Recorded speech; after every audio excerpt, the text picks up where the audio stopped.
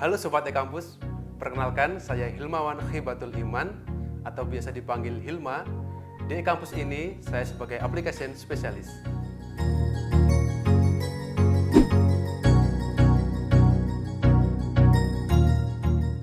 Hmm, kenapa ya?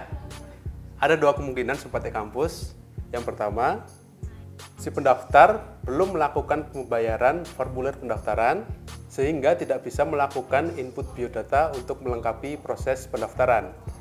Dan sebab yang kedua adalah token pendaftaran tersebut sudah kadaluarsa.